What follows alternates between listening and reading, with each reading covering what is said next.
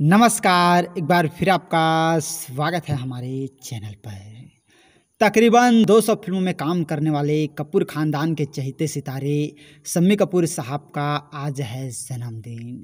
जी हाँ दोस्तों तो आज हम लोग सम्मी कपूर साहब के जन्मदिन स्पेशल में सम्मी कपूर साहब से जुड़े कुछ ऐसे अनसुने किस्से के बारे में बात करने वाले हैं, जिसके बारे में बहुत ही कम लोग जानते हैं। भारतीय सिनेमा जगत के एल्विस प्रेसली माने जाने वाले एक्टर सम्मी कपूर साहब की आज उन्नीसवीं बर्थडे एनिवर्सरी है। और कपूर खानदान के वे वह पहले ऐसे बच्चे थे जिनकी डिलीवरी अस्पताल में हुई थी। और उनके पिता पृथ्वीराज कपूर साहब ने उस समय सम्मी कपूर साहब का नाम शमशेर राज कपूर रखा था और बाद में वह शमशेर राज कपूर से सम्मी कपूर हो गए।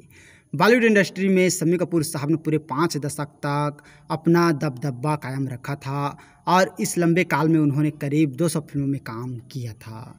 रंगीन रातें, उजाला, मुजरिम दिल देकर देखो। जंगली काश्मीर की कली राजकुमार जैसी, कई फ़िल्में उनके करियर की शानदार फ़िल्मों में से एक हैं।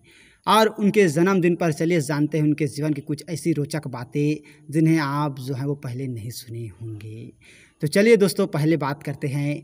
डर के बीच पैदा हुए थे सम्मी कपूर साहब। पृथ्वीराज कपूर और उनकी धर्म पत्नी राम सरनी मेहरा कपूर बहुत डरे हुए थे, जब सम्मी कपूर साहब गर्भ में थे। दंपति के डरने की वजह यह थी कि राज कपूर के बाद उनके दो बच्चों की मौत हो गई थी। हालाँकि दोनों ने हिम्मत से काम लिया और सम्मी कपूर साहब को मुंबई के एक अस्पताल में जन्म दिया। सम्मी कपूर साहब के पैदा होने के बाद उन्हें बड़े ही प्यार से जहाँ पाला गया। और दोस्तों, बचपन से ही एक्टर रहे थे शम्मी कपूर साहब। इस बात को ठुकराया नहीं जा सकता है कि सम्मी कपूर साहब बॉलीवुड इंडस्ट्री के एक लाजवाब कलाकार थे। उनके प्रतिभाओं को बल देने का काम पृथ्वी थिएटर ने किया था। जहाँ वह बचपन में थिएटर आर्टिस्ट थे और 1948 में शम्मी कपूर साहब को उनका पहला जॉब मिला था, जहाँ पर वह एक जूनियर आर्टिस्ट का काम कर रहे थे। और उनको उस काम के लिए एक सौ पचास रुपये प्रति माह तनख्वाह मिलती थी। और दोस्तों भाई की वजह से छोड़ना पड़ा था स्कूल। आइए इस किस्से के बारे में भी बात करते हैं। पृथ्वीराज कपूर साहब के दोनों बेटे राज कपूर और शशि कपूर बहुत टैलेंटेड थे। और सम्मी कपूर साहब का यह किस्सा बहुत मशहूर है कि अपने भाई के चलते उनको भी स्कूल छोड़ना पड़ा था। दरअसल हुआ यह था कि राज कपूर साहब को शकुंतला नाटक में एक बड़ा किरदार मिला था, जिसकी रिहर्सल के लिए उन्हें बुलाया गया था। लेकिन दोस्तों, स्कूल से छुट्टी ना मिलने पर उन्होंने अपने प्रिंसिपल से लड़ाई कर ली थी और वह स्कूल छोड़कर आ गए थे और अपने भाई के लड़ने का नतीजा सम्मी कपूर को भुगतना पड़ा और उन्हें भी वहाँ स्कूल जो है वो छोड़ना पड़ा था। और पचास रुपये में करते थे थिएटर का काम। सम्मी कपूर साहब के ज़िंदगी का यह बहुत ही खास किस्सा है। जब उनके पिता पृथ्वीराज कपूर साहब ने उनका सहारा बनकर उन्हें काम दिलाया था। सम्मी कपूर साहब जब कॉलेज स्टूडेंट हुआ करते थे, तब एक दिन वह अपने कॉलेज को छोड़कर घर आ गए थे। वह थोड़े निराश और खोए खोए से थे। तब उनके पिता पृथ्वीराज कपूर साहब ने उनके मन की बात समझते हुए उनसे कहा था, कोई बात नहीं, पुत्र, और उन्हें थिएटर ज्वाइन करने का मौका दिया था। और दोस्तों, नहीं मिली स्टार किड वाली लॉन्चिंग आइए इसके बारे में भी बात करते हैं। वह ज़माना था जब शमी कपूर साहब अपने पिता के थिएटर में एक मजदूर की तरह काम किया करते थे और उनसे अपनी तनख्वाह लिया करते थे। पृथ्वीराज कपूर साहब का उस समय बॉलीवुड इंडस्ट्री में एक अच्छा खासा दबदबा था। अगर वो चाहते तो उनके बेटे को एक शानदार लॉन्चिंग मिल सकती थी, लेकिन उन्होंने ऐसा नहीं किया।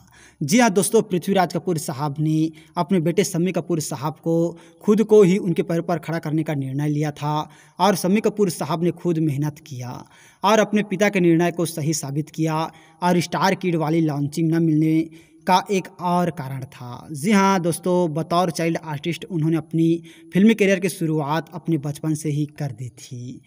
और जीवन ज्योति से बड़े पर्दे पर की शुरुआत। जी हाँ दोस्तों, उन्नीस सौ तिरपन में रिलीज़ हुई फ़िल्म जीवन ज्योति से समी कपूर साहब ने अपनी बॉलीवुड करियर की शुरुआत की थी और इस फ़िल्म में उनकी एक्ट्रेस चाँद उस्मान थी।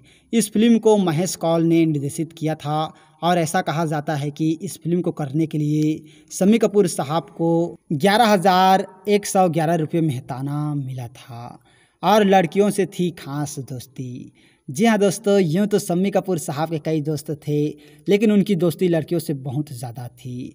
इस बात से उनके घर वाले अनजान नहीं थे कि ऐसा कहा जाता है कि अपने फ़िल्म ब्रह्मचारी की कोई स्टार मुमताज़ के साथ उनका गहरा संबंध था। लेकिन दोस्तों, वो ज़्यादा दिनों तक नहीं टिक सका। उनकी ज़िंदगी एक और किस्सा है, जब वह एक विदेशी बेलडी डांसर को डेट किया करते थे। लेकिन कुछ समय बाद शमी कपूर साहब का उनसे भी ब्रेकअप हो गया था। और उनके बचपन का एक अनसुना किस्सा है कि नूतन उनकी चाइल्डहुड गर्लफ्रेंड थी। इन दोनों नन्हे कलाकारों ने उन्नीस सौ तिरपन में रिलीज़ हुई फ़िल्म लैला मजनू में साथ काम किया था और उस समय नूतन मात्र तीन साल की थी और सम्मी कपूर साहब उस समय छः साल के थे। तब से लेकर अंत तक उन दोनों की एक अच्छी दोस्ती थी और दोस्तों, गीता बाली थी उनकी पहली पत्नी। सम्मी कपूर साहब की पहली पत्नी एक्ट्रेस गीता बाली थी, जिनके साथ उनके दो बच्चे हुए थे, कंचन और मिक्की। लेकिन 1960 में स्मॉल फॉक्स के कारण गीता बाली का देहांत तो हो गया और प्यार की मौत से समी कपूर साहब को गहरा झटका लगा था, जिसके बाद वह गुमसुम से रहने लगे थे। उनके हेल्थ पर बहुत बुरा प्रभाव पड़ा था, जिसके वजह से वह बहुत मोटे हो गए थे और उनका करियर भी बहुत प्रभावित हुआ था और अपने घर वाले के कहने पर समी कपूर साहब ने भावनगर की रानी नीला देवी से दूसरी शादी कर ली थी। और दोस्तों, लिपस्टिक से भरी मांग। फ़िल्म काफ़ी हाउस से गीता और सम्मी की मुलाकात हुई थी, जिसके बाद सम्मी कपूर साहब उनसे बेनतहा प्यार करने लगे थे। ऐसा कहा जाता है कि सम्मी कपूर साहब गीता से हर एक दिन यह सवाल पूछा करते थे कि, तुम मुझसे प्यार करती हो? और हर बार गीता का एक ही जवाब होता था, ना। सम्मी कपूर साहब के ज़िंदगी का एक ऐसा खास पल था जब गीता ने उन्हें हाँ कह दिया था और उनसे उसी समय शादी करने की बात कही थी। और जंगली फ़िल्म ने दी उन्हें पहचान। समी कपूर साहब कितने बेहतरीन कलाकार थे। यह तो उनकी हर एक फ़िल्म में झलकता है। लेकिन उन्नीस सौ इकसठ में रिलीज़ हुई उनकी फ़िल्म जंगली ने समी कपूर साहब की पहचान बदल दी थी। यह उनके करियर की सबसे शानदार फ़िल्म थी, जिसने उन्हें रातों रात सुपरस्टार बना दिया था। और इस फ़िल्म को करने के बाद यह कहा जाता है कि समी कपूर साहब जितनी भी फ़िल्मों में नज़र आए, वह सब हिट हुई। और डांस और सम्मी कपूर। जी हाँ दोस्तों सम्मी कपूर को ऐसे ही बॉलीवुड इंडस्ट्री का एलविस प्रेसली नहीं कहा जाता है। इस उपाधि मिलने के पीछे एक बहुत रोचक कहानी है। सम्मी कपूर साहब ने बॉलीवुड इंडस्ट्री को एक खास तोहफा दिया था, जिसने हीरोज का डेफिनेशन चेंज कर दिया था। यह कहा जाता है कि सम्मी कपूर अपनी फ़िल्मों में अपने तरीके से ही डांस करते थे और और दोस्तों, वह इंटरनेशनल स्टार एल्विस प्रेस्ली से बहुत प्रभावित थे। उनकी वजह से बॉलीवुड इंडस्ट्री में लीड एक्टर का डांस करने का चलन शुरू हुआ था। और दोस्तों, उन्नीस सौ अट्ठासी में लिया कंप्यूटर का ज्ञान। सम्मी कपूर साहब को कुछ नया सीखने का शौक हमेशा से था। इसी के चलते उन्नीस सौ अट्ठासी में उन्होंने कंप्यूटर का ज्ञान लिया। और सम्मी कपूर साहब एक ऐसे एक्टर और भारतीय थे जो कुछ चंद लोगों में गिने जाते थे। इंटरनेट के इस्तेमाल के लिए उस समय भारत में इंटरनेट का उतना चलन नहीं था, लेकिन फिर भी समी कपूर साहब ने कंप्यूटर का ज्ञान लिया और वह इंटरनेट का इस्तेमाल करना भी जानते थे।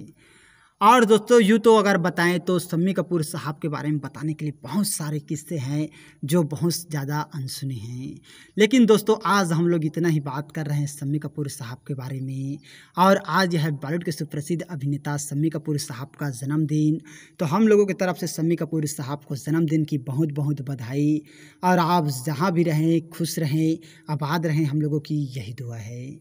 तो और इसी तरह की जानकारी के लिए अगर अभी तक आप लोगों ने हमारे चैनल को सब्सक्राइब नहीं किया है तो प्लीज़ दोस्तों हमारा चैनल ज़रूर सब्सक्राइब कीजिएगा और वीडियो को अभी तक लाइक नहीं किए हैं तो लाइक कीजिएगा, शेयर कीजिएगा। थैंक यू दोस्तों हमारे वीडियो वॉचिंग करने के लिए।